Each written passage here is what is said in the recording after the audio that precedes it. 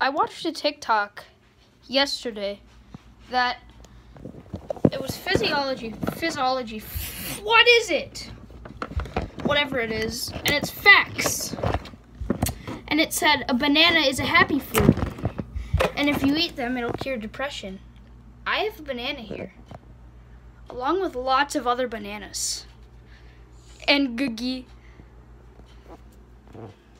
This is happiness fruit. If I eat this, I won't be depressed.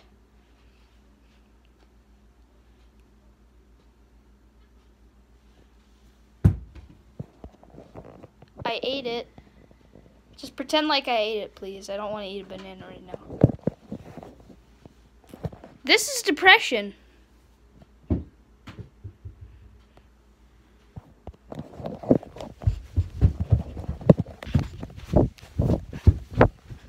This is depression when I don't eat a banana.